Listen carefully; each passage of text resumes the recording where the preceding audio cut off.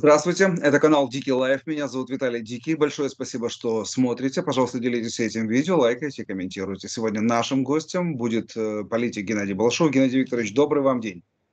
Приветствую, приветствую. А, как там результаты урагана? Насколько я понимаю, вся история закончилась, но все же, вы в эпицентре событий во Флориде. Э, да, но мое место оказалось, это Флаглер, не так ударено ураганом. Он в основном прошел по Сарасоте, так крейсерские. Мужскими именами называются ураганы, которые целенаправленно действуют, а женскими именами называются те, которые, так сказать, хаотичные. Они менее ударные. И этот ураган больше пришел по мысу Канаверал, а вот это там, где я нахожусь, тут уже было один э, по баллам считается один э, процент.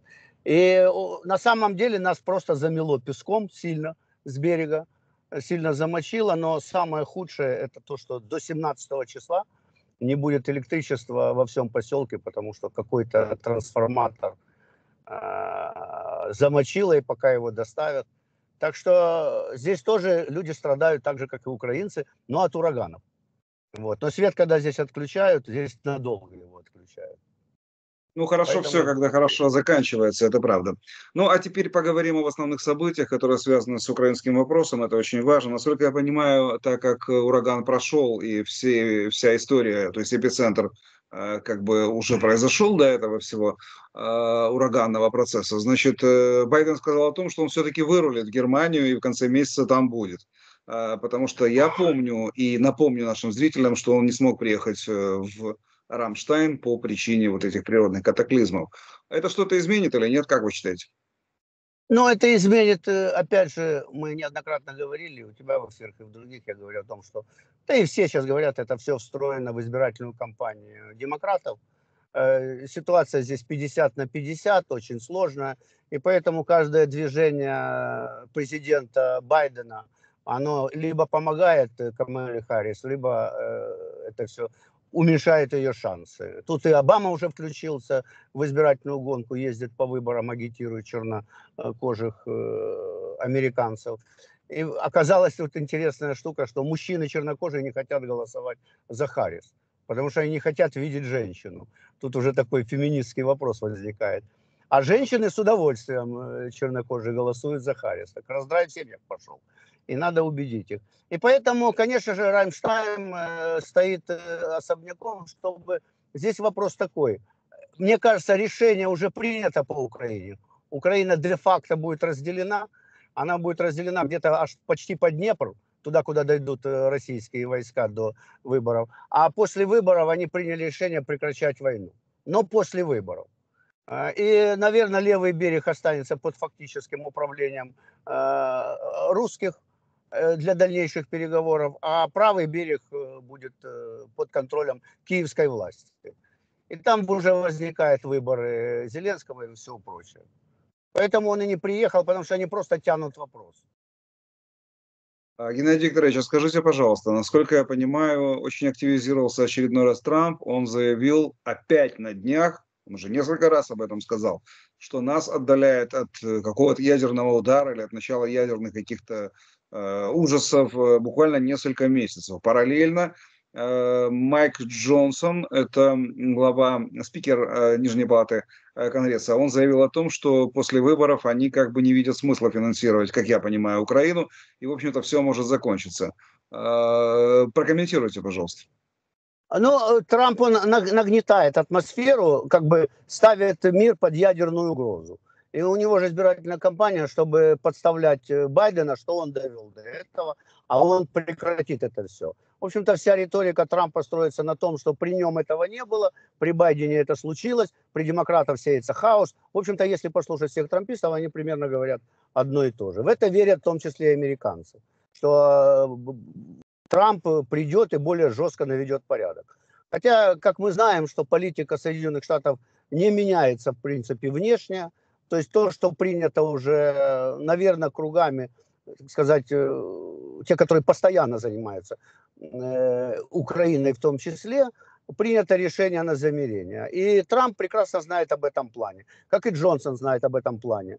И поэтому он говорит, что финансирования уже больше такого не будет, на военную помощь Украине столько выделяться не будет. Сейчас будет идти речь исключительно о том, чтобы а, заключить мир и дать гарантии Украине. Вот какие гарантии? Это вопрос. И здесь выдвигается на первый план заявление Путина скорее и э, Лаврова. Лавров со своей стороны сказал, что мы согласимся, если что, только в условиях нейтралитета Украины и учета русскоязычного населения, его защиты прав. И, а Путин сказал, что он готов приехать и э, должны встретиться на базе ООН пять стран, которые должны дать гарантии Украины. Пять стран, я имею в виду ядерных держав, Великобритания, э, Франция, Россия, Китай и Соединенные Штаты Америки. В общем-то, то, что добивался Путин, это признайте меня равным. Я контролирую Украину, я не дам ей вступить в НАТО. И по сути сейчас мне кажется, что Путин добивается этого ситуации. Скажите, вот только закончилась турне Зеленского по Европе, и, кстати, Шпигель написал, что не очень успешно. Ну, это связано с теми идеями и теми предложениями, о которых говорил Зеленский, они были холодно восприняты. Но оставим это на совести Шпигеля. Но я о другом. Смотрите, Байден и Белый дом заявляют о том, что они, возможно, в эту пятницу, ближайшую, уже будут в Германии. Но, кстати, ничего не говорили относительно приглашения на приезд или появление в Германии Байдена именно Зеленскому. Так смысл у Байдена будут какие-то другие дела, да, как бы пока не украинский вопрос является основой встреч. Трудно разобраться украинский вопрос, они не хотят э, поднимать риторику вокруг него, поэтому не делают никаких заявлений. Опять же, это связано с избирательной кампанией э, демократов. А что касается самого Зеленского, его турне по неожиданному, для всех турне по лучшим странам Европы, можно так сказать, э, как этот премиум тур. Рим, Франция, Париж, Лондон, что там еще – Берлин, все, все прекрасно у Зеленского. И у семьи Зеленских все прекрасно, мы с этим его поздравляем. Но на самом деле это скорее выглядело как э, э, его превратили в такого медвежонка для развлечений. То есть его принимали на высшем уровне, но, судя по заявлениям, э, принимали так уже. Ну, мы уже развлекались этим медвежонком, нам этот цирк уже поднадоел, и сам Зеленский поднадоел со своими требованиями «дайте денег». И, в общем-то, но Зеленскому все равно устроили этот парад тщеславия. То есть это было специально для Зеленского. Это говорит о том, что они великолепно играют клубом. Они великолепно подыгрывают Соединенным Штатам Америки. Они великолепно а, действуют как команда и никакого раскола между Европейским Союзом, его лидерами и Соединенными Штатами не предвидится и нету. Просто играется игра. И эта игра, к сожалению, делит Украину не пополам, но процентов 20, наверное, территория будет под контролем Российской Федерации де-факто. Ну, относительно это, этого турне как бы есть разные оценки, но в основном, я смотрю, западная пресса оценивает их как очень скудные. Ну, прям совсем скудные. А что это ну, означает, так... я думаю, что... Да в этом же и смысл, что уже решения приняты. Уже, наверное, на каждой встрече э, ему говорят о мире, особенно у Папы Римского. Ему говорят, что знаешь, надо все-таки иногда принимать политические решения. Давай, наверное, уже соглашайся на какие-то уступки. И по сути, вот этот весь шквал э, прессы, который идет вокруг Зеленского, он же идет э, вокруг одного – заморозка конфликта на, по линии соприкосновения, согласится Россия или не согласится, и когда это произойдет. И будут Кстати, относительно заявлений э, прессы, соответственно, э, лидеров, которые встречались с Зеленским, а вот Шпигель пишет о том, что объявление Шольца о новой помощи миллиард евро для Украины при ближайшем рассмотрении, ну, при их анализе, оказалось абсолютным обманом. Все оружие, о котором было заявлено в пятницу, уже было обещано и профинансировано еще в прошлом году. И более того, они говорят о том, что удивительно, обычно даже если политические вопросы не решаются, то сразу же как бы возникает тема там помощи, каких-то там траншей, э, но в этот раз не было никаких объявлений и никаких заявлений о новой помощи. И это всех удивило, потому что обычно такие вот визиты, они заканчиваются, если не политическим результатом, то хотя бы каким-то материальным. А что бы это значило? понимаешь, мерзость нашей власти, там, этих э, Зеленских, этого Шмыгаля, она заключается в том, что они еще год назад знали, чем это закончится. И что на самом деле убивали людей просто так и, и на Курск посылали ради личного пиара. И помнишь заявление Шмыгаля о том, что а мы не планировали воевать на сентябрь. Это же все там оно лежит, что они не планировали. И европейцы не планировали после сентября вообще воевать. Все прекрасно знали, что закончится избирательная кампания демократов, Байдена на то время, а потом Камелы Харрис, и война должна быть закончена в любом ее виде, куда там уже, где войска остановятся, там оно и заглохнет. Потому что все цели, которые э, были поставлены этой войной, а цели достигались и Европейским Союзом, и Америкой, и свои цели ставила Российская Федерация, они достигнуты. И эти цели, к сожалению, не хороши для Украины. Я боюсь, что э, сам Зеленский со своей шоблой вот этой зеленой, они сыграли на руку другим странам, а своих граждан положили просто так. Больше 100 тысяч убитых и 400 тысяч раненых. Разрушенные Я хотел бы э, уточнить, как говорил Шмыгаль, или человек по фамилии Шмыгаль, который возглавляет э, украинское правительство уже много лет и считается феноменальным, как говорил спикер Степанчук, одним из лучших Э, шмыгалей э, премьер-министров э, во всей Украине и вне ее территории. Так вот, я напомню, он сказал о том, что мы не планировали закладывать в бюджет деньги, потому что Э, мы не думали, что в конце 2024 э, года еще будут военные действия. То есть не только там наполовину 2024 года э, просчитали бюджет, и поэтому недоимка 500 миллиардов, которые сейчас покрывают, в том числе продавая имущество. Вот недавно один из титановых кластеров был за бесценок продан, и, так понимаю, нет денег. Ну и, конечно же, вот эта ужасная история с налогами. Кстати, хотел бы узнать ваше мнение по поводу вот первого и второго вопроса. На этой неделе это было принято, и это было совершено? Ты знаешь, э, конечно же, государство будет распродавать имущество. Его к этому подбивают. И те три с половиной тысячи госпредприятий, они 80% убыточные. И, по сути, их давно уже надо было поставить на продажу и продать.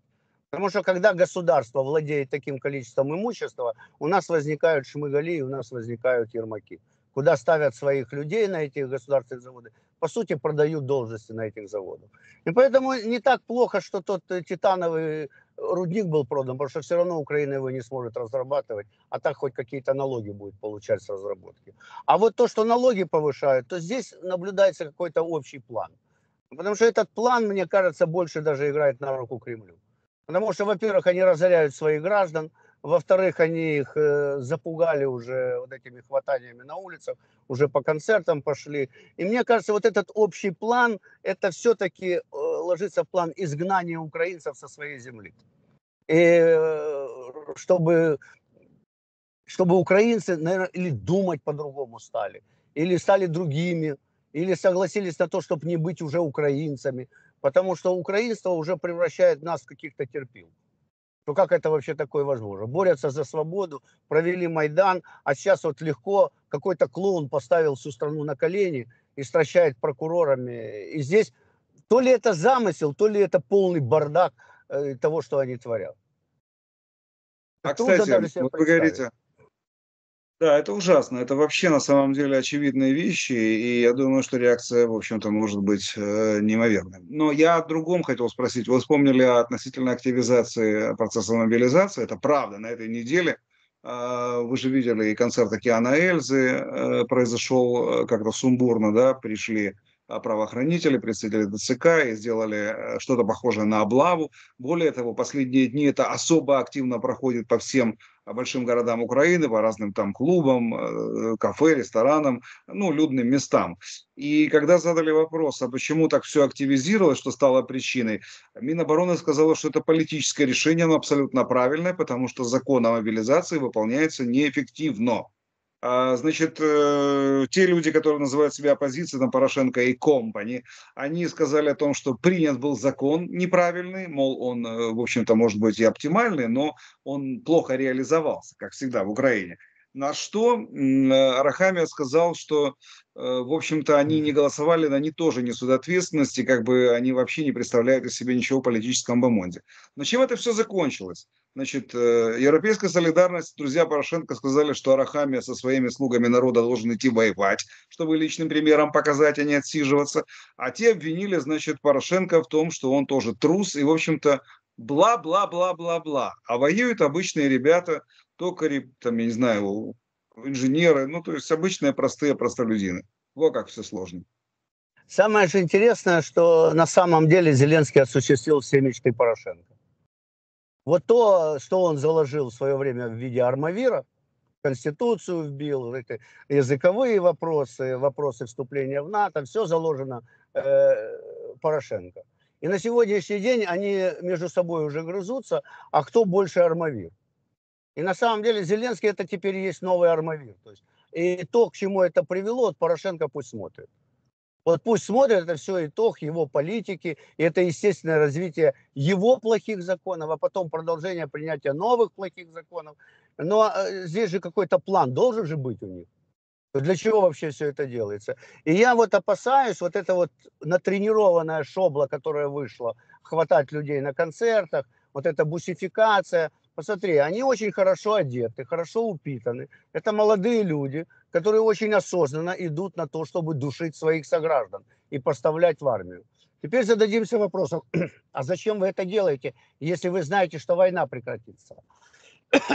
А ситуация заключается в следующем, что как только война закончится, все предъявят претензии Зеленскому и этой шобле. А что же вы наделали? Потеряли земли, Э, Россия оставляет под контролем огромную территорию земли. И тогда выступают на первый план то, что и должно при диктатуре выступать. Стражи порядка.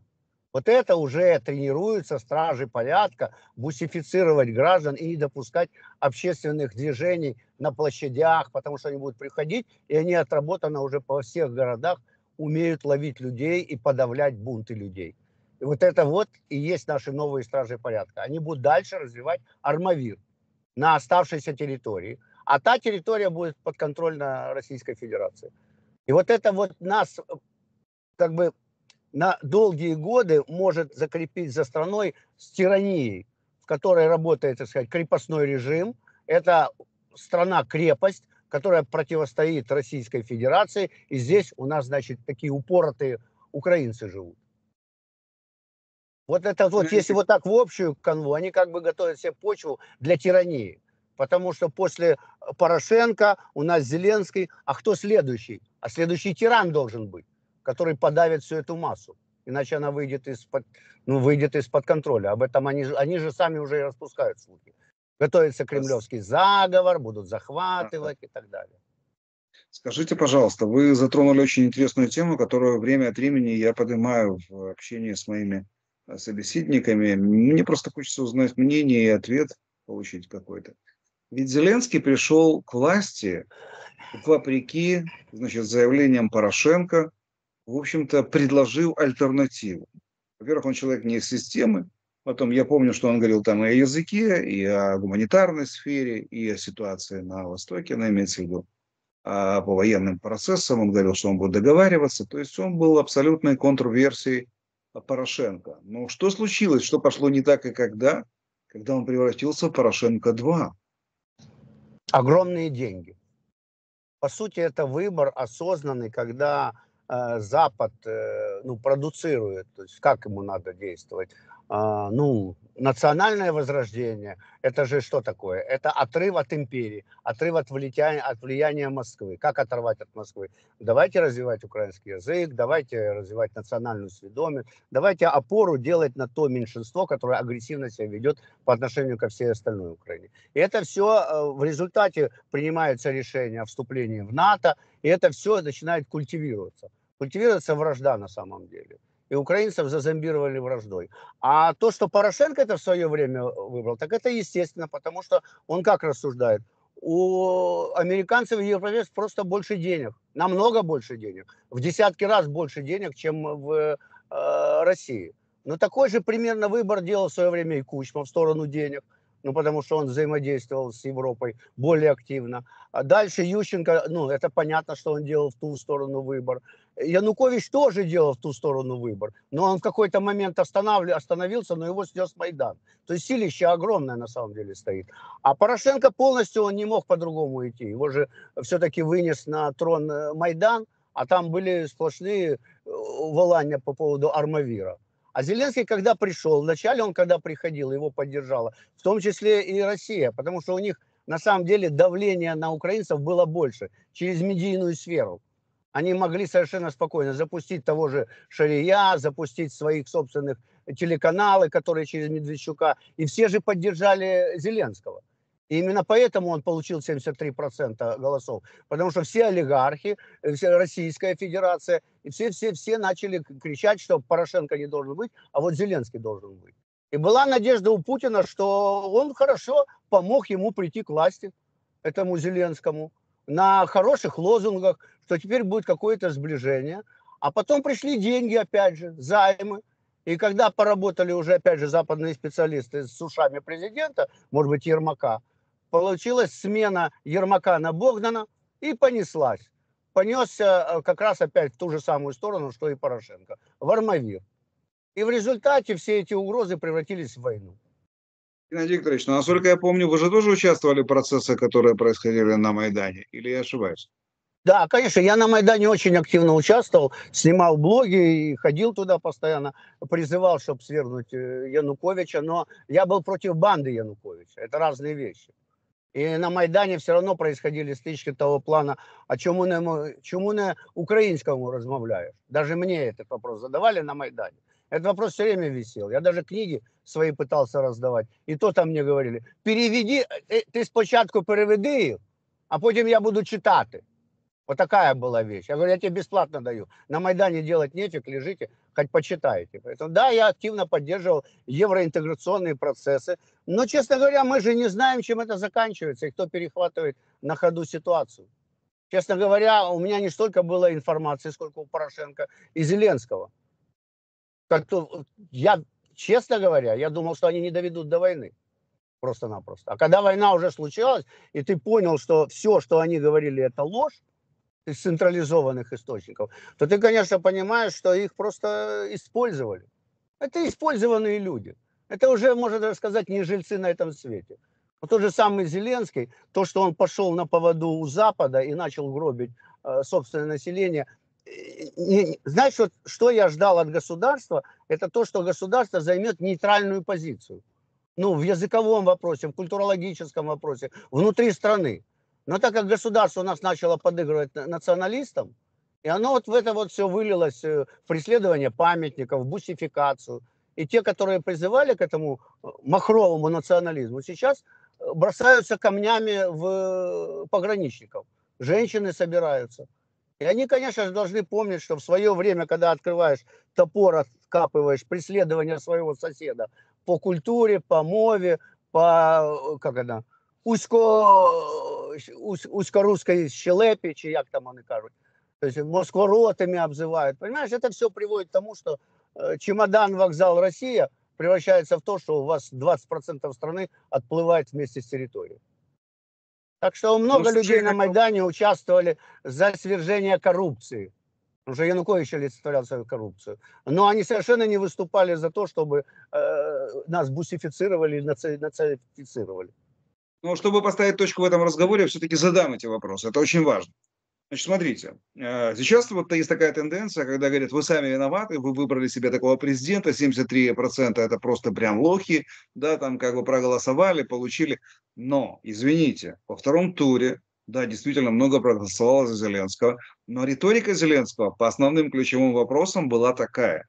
По поводу окончания, значит, конфликта с Россией или там российско-украинского, вот этого ужаса, который происходил на а, востоке страны, на Донбассе, Зеленский говорил, что он первым делом начнет договариваться. Люди ему поверили, потому что хотели остановить, ибо от Порошенко такой прыти и таких обещаний не слышали. Он как раз был заряжен на конфликт. Это правда и это очевидно объективно. Второй вопрос по поводу истории языка. Зеленский, давая интервью там Гордонам и всяким остальным, непонятным типам рассказывал о том, что зачем поднимать э, языковой проблемный вопрос, если можно, значит, сесть за стол переговоров, дать возможность всем спокойно себя чувствовать, и он за либерализацию, за толерантность и так далее, и так далее. И ему поверили. Далее он сказал, вот это историческое прошлое, зачем его терроризировать, давайте соберем какую-то тоже комиссию, где будут представлены представители высокоинтеллигентные ребята, которые там имеют опыт, умения, знания, ну то есть уважаемые авторитетные люди, тоже все порешаем спокойно, мирно. Ему тоже поверили. Но тут я говорю, что когда он пришел на место президента, ситуация кардинально изменилась. Значит, не только деньги, может быть и другие какие-то факторы существуют крайне резкому повороту Зеленского в другую сторону? Я думаю, тут надо искать корни где-то в районе 16 года, кто выбрал Зеленского на кандидата в президенты. Кто начал двигать Зеленского и кто предложил ему этот проект. Елена Зеленская как-то в интервью сказала о том, что когда нам предложили этот проект, ну это почти прямая цитата, мы долго думали, но согласились. То есть это для них проект. То есть на самом деле Зеленский выступал в виде куклы. Ну, считай, что его жопа надета на чей-то палец. И вот этот палец руководит им. То есть на самом деле поменял мнение не Зеленский, он говорит то, что ему говорят, и он это озвучивает, а поменяла место та, э, мысли та группа, которая стоит за Зеленским. И она вдруг в этот момент посчитала, что втянуть Зеленского в войну, вести более агрессивную риторику и продолжать армавир для них выгодно. Для кого это может быть выгодно? Мы сразу же смотрим, а кто сейчас у власти? Ну вот если убрать Зеленского и Ермака, ну не рассматривать это так понятно, а кто за ними стоит? А за ними стоит Левочкин Фирташ, а за ними стоит Пинчук Фиала, а за ними стоял Коломойский, сейчас его посадили, а за ними стоят все те же самые и Ахметов, все те же самые олигархи, которые пилят страну. Потому что местным олигархам, я имею в виду национальным уже, скажем так, олигархам всех мастей, включая Ахметова и всех остальных, уже выгодно быть европейцами. Они хотят в Европу, и они хотят более жестко в Европу. Это такое заявление путинской э, коррупционной своре кремлевской в том плане, что мы отдельные бояре, и договаривайтесь с нами.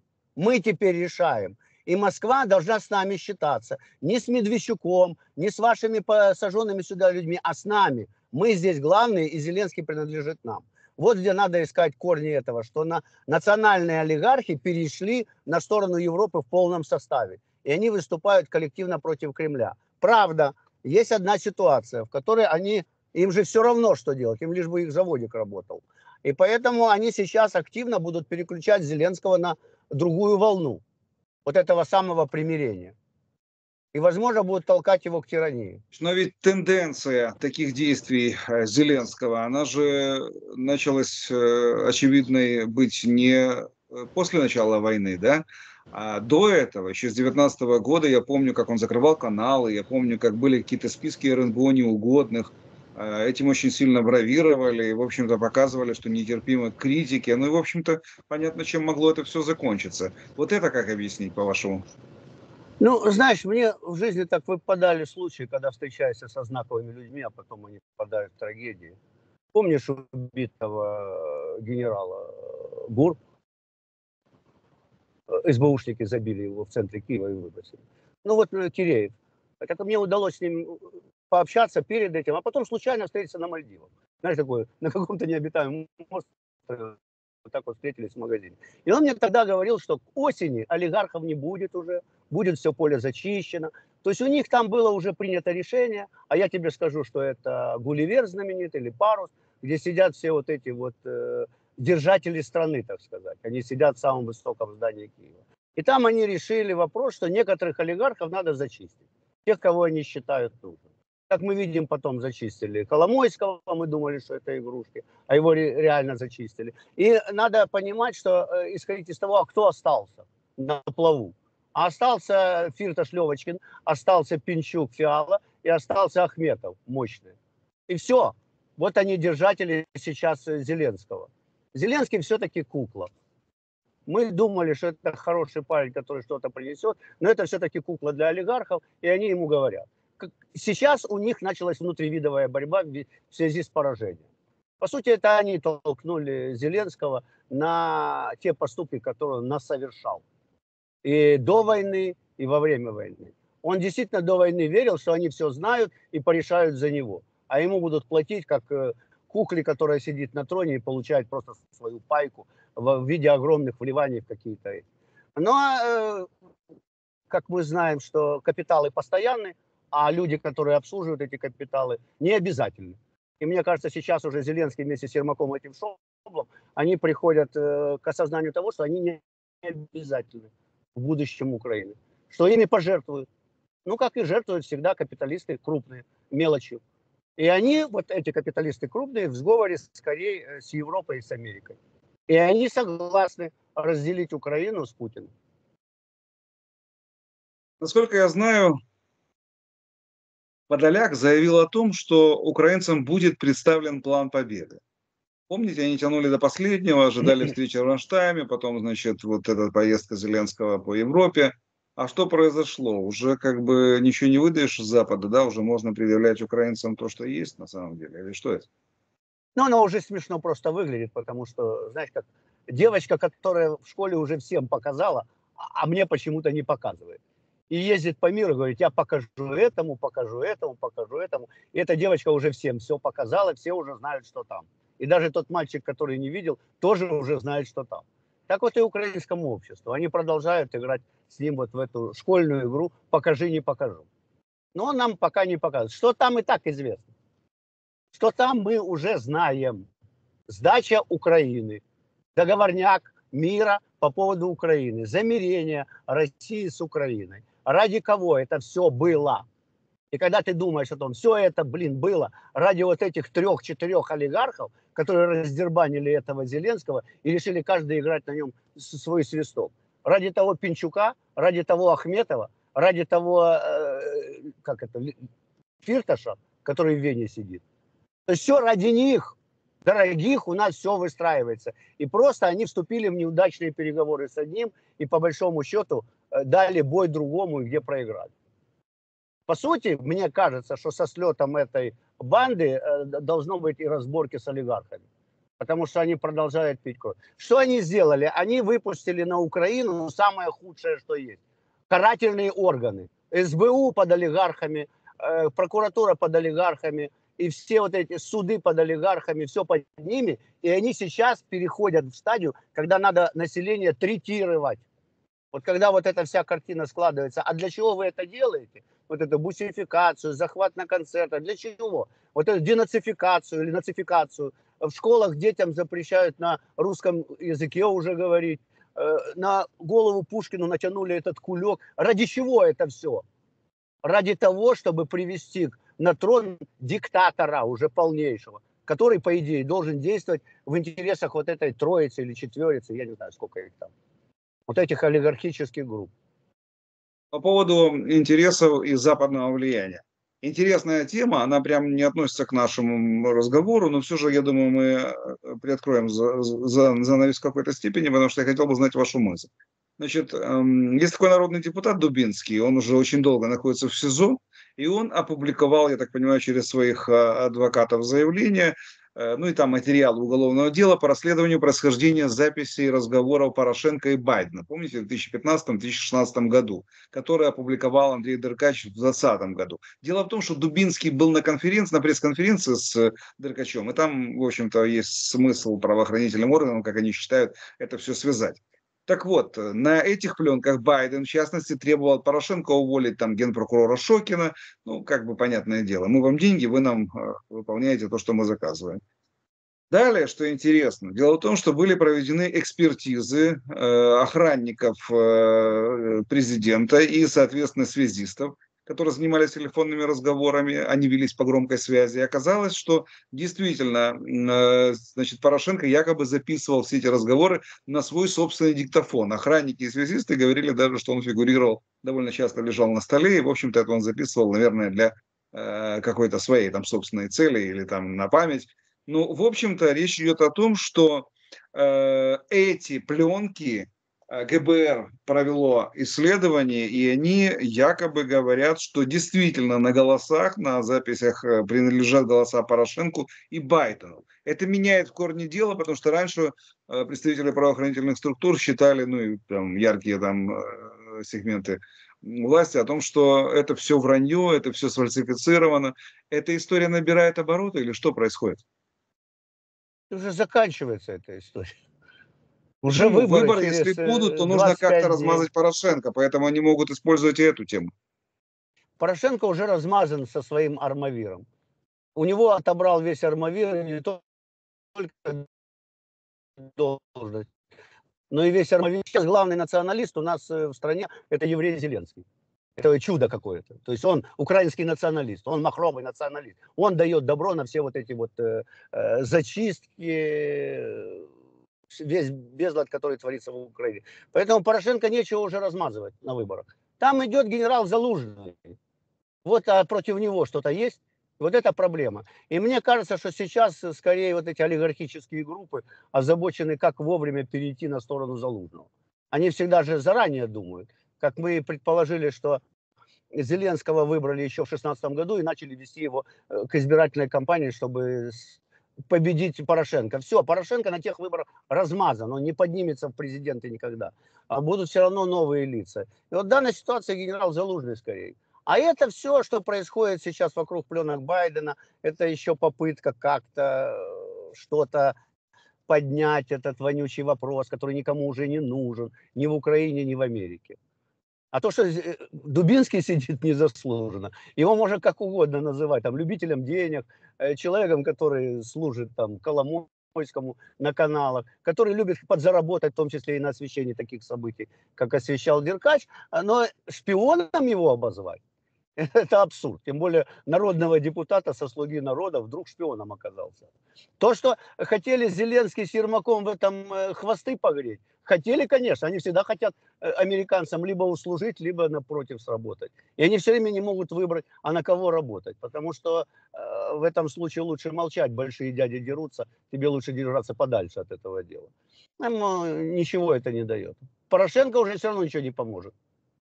Хорошо, тогда э, меня интересует, почему эта тема возникла. Вы же помните, сначала к ней агрессивно относились, и теперь она прям э, вынесена на первую страницу, как говорят. Смотрите, сейчас выборы в Соединенных Штатах Америки, да, очевидно, что неплохие шансы имеет Трамп, хотя многие говорят, что он уже проигрывает Камале Харрис. Ну, я не знаю, я не живу в Соединенных Штатах Америки, но в любом случае я понимаю, что все может быть в любой момент абсолютно неожиданным для нас.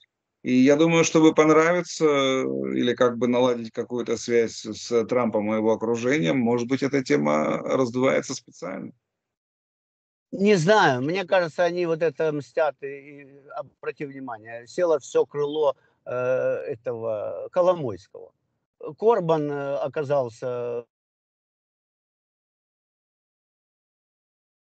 оказался довели обысками.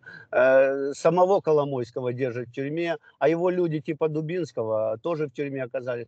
По большому счету, а, этот его подельник э, э, Боголюбов в 13 вагоне покинул страну, миллиардер по чужим паспортам. То есть мы видим полную зачистку этого клана. Это значит, что самого агрессивного среди вот этой четверки олигархата они зачистили, они его больше всех боялись. То есть это внутривидовая борьба точно по Либону. Четыре у нас есть претендента, начинают зачищать одного самого сильного, а потом перегрызут друг друга. Вопрос, что станет дальше и останутся ли они вообще. Но капиталы у них настолько огромные, мы просто даже не, дос, не доосознаем. И я не доосознавал, насколько у них огромные капиталы. Никакие новые люди таких капиталов законных уже не получат. Потому что у них уже, знаешь, у Ахметова законные капиталы с европейцами связаны. У Пинчука с американцами и европейцами связаны. У Фиалы вообще весь, все европейские американские деньги в его компаниях в Украине. То есть мы видим, как новые олигархи продолжают управлять тем же самым Зеленским. Но у них раскол у самих. Они уже между собой грызутся. Я думаю, что они все вместе перебегут после вот э, замерения к генералу Залужному. Поэтому Зеленскому приготовиться на эшифот. Как это? Революция пожирает своих детей. А как вы себе представляете вот это вот примирение или, я не знаю, там разворот э, событий, если россияне категорически э, против любых контактов э, на основе формулы Зеленского? Ну, вы понимаете, о чем я говорю, я не буду как бы рассуждать на эту тему. Что должно произойти? Давление принудительное Запада на Украину или Украину поставят перед фактом, если договорятся? Какой вариант э, актуален сейчас?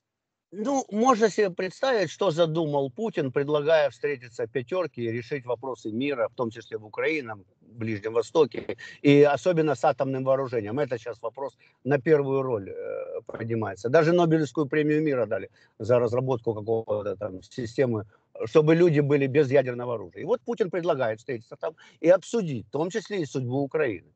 Э, самое главное для Путина, тут я соглашусь с Карасевым, это сохранение контроля над пространством Украины. Вот как над Грузией сохранение контроля над пространством. То есть это не вступление в НАТО, это не это нейтралитет, это защита русского языка традиционно, ну а как они еще скажут, а ради чего все это было? И русскоязычного населения. А дальше фактическое удержание той территории, на которой они находятся. Вот дальнейшее уже будет получаться по-другому. Ну, потому что, первое, вынесут Зеленского, кого-то же надо похоронить за вот такие чудесные победы, вынесут Ермака, произойдет замена власти. А теперь вопрос, а кто придет после Зеленского? Меня сейчас больше этот вопрос интересует. Потому что под тем, кто придет, все равно останется вот эта группа. Фиала, Пинчук, э, Левочкин, э, Фиртов.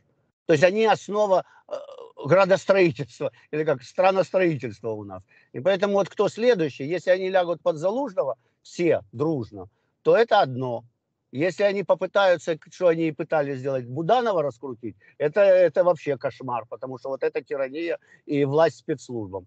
Потому что если Залужный, это более умеренная политика внутри страны, это замерение всех групп, потому что сам Залужный такой – не шатай, не валяй, генерал, политик, он может договариваться и с теми, и с теми, и с теми. И, в принципе, вот, э, мне кажется, сейчас это идеальная позиция. И генерал, и умеренный, не нацик.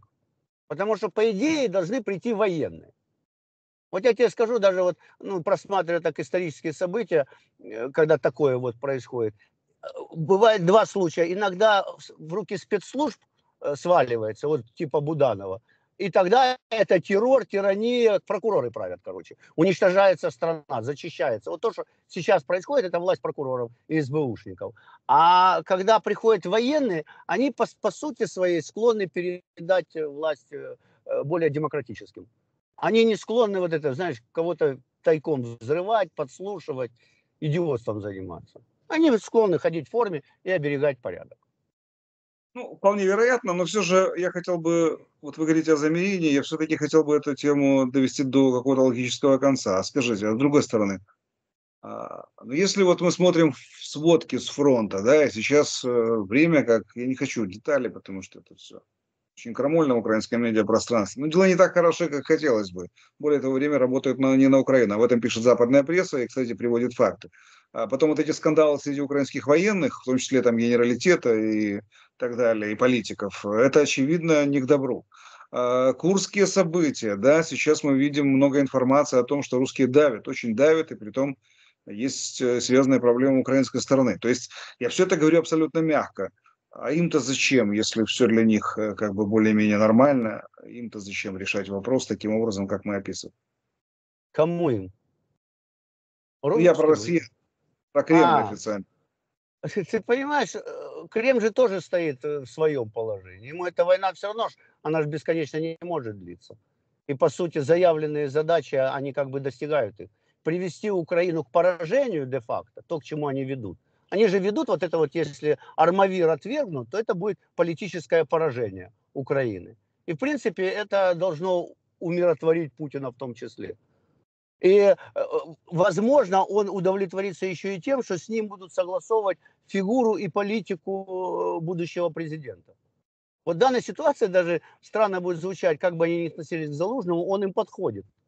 Потому что э, Залужный будет проводить умеренную политику у нас будет парламентская республика. А если парламентская, то это возможен переход к более умеренной э, международной политике всей страны.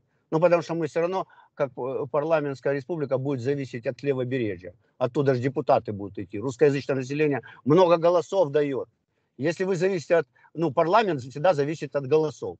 Если вы не будете соблюдать голоса русскоязычного населения, то вас не будут выбирать. Выбирать будут тех, кто поддерживает русскоязычное население. Поэтому в данной ситуации будут, э, скорее всего, согласовывать фигуру Залужного. Короче, военные против войны. Это же, кстати, тоже тезис один из э, путинских, который он в самом начале еще говорил. Военные, берите власть, прекращайте войну. Вот ты помнишь, как они шли? А в данной ситуации нам, как обществу, нельзя допустить спецслужбы наших прокуроров и следователей к власти. А с другой стороны, все равно будет военный генерал какой-то. В данной ситуации Залужный, который должен быть он был против войны, что он хотел э, заключить какое-то перемирие, потому что дальше воевать уже бессмысленно. Это все тезисы э, Залужного. Сейчас тот же самый Залужный объявляет о том, что он против мобилизации от 20 до 25 этого закона. То есть Залужный начинает делать заявления антивоенные. Это же э, генерал против войны. Это идеально для избирательной кампании. Да, ну Поэтому, может быть, спорить, потому что мы же не знаем, какие тайные переговоры в Лондоне идут. А может быть, он заверит где-то тайненько э, Путина, что да, мы идем к нейтралитету, мы против войны, мы идем вот так. Ну, чего нет. Но, с другой стороны, должна быть политическая воля тех, кто сейчас при власти, хотя бы пойти на выборы. У них она пока не просматривается. Более того, мы говорили о вот этом подалеке, знаю его сто лет, я помню, как он славил Януковича, теперь, значит, Зеленского. Э, он же, по-моему, вчера сказал, что никаких отклонений, мы все равно там о формуле мира Зеленского говорим, и как бы никаких э, новшеств в этом ничего нет. Мы не отступаем от своей а, линии поведения. Вот в чем вопрос, вот что настораживает. То есть они не готовы к переговорному процессу на основе какого-то там компромисса. А что такое 95-й квартал без 1 плюс 1? Или без Интера? Вообще, что такое этот э, квартал 95-й без э, телевидения и э, медийной поддержки? А вся медийная поддержка и телевидение стоят денег огромных. И в данной ситуации, как только эти самые олигархи переключатся на поддержку другого кандидата, все эти средства массовой информации будут работать на другого кандидата в той или иной форме.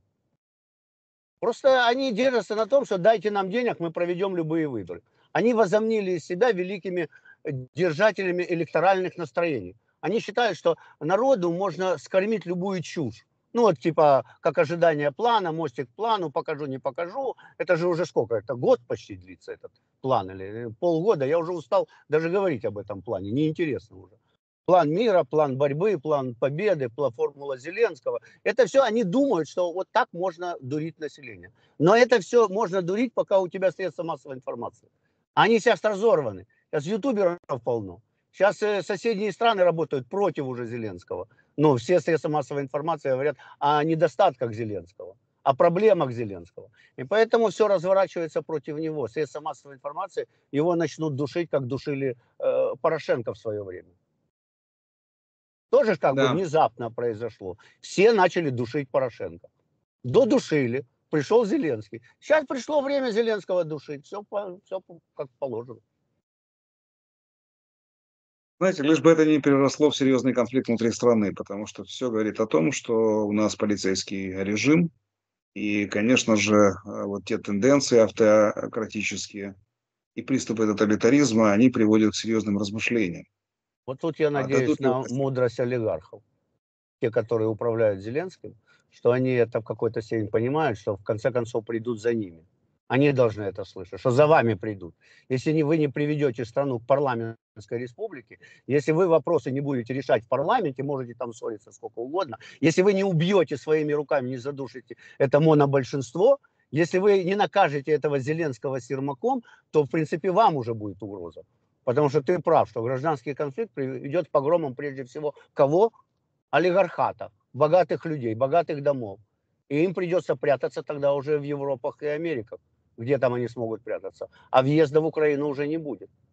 Потому что это восстание, черт его знает, к чему оно приведет. И какие силы приведет. Потому что пока я вижу, что страну захватили прокуроры. Мы ставим три точки. Так считает Геннадий Балашов, украинский политик. Геннадий Викторович, я очень вам благодарен. Спасибо большое, что ответили на мои вопросы, поделились своими мыслями на канале Дикий Лайк. Благодарю. Спасибо Надеюсь, за терпение. Спасибо. Спасибо всем, кто смотрел. Пожалуйста, делитесь этим видео, лайкайте, комментируйте. Через небольшой промежуток времени встретимся. С уважением, Виталий Дикий. Не теряйте оптимизм. Подписывайтесь на мой канал. До встречи.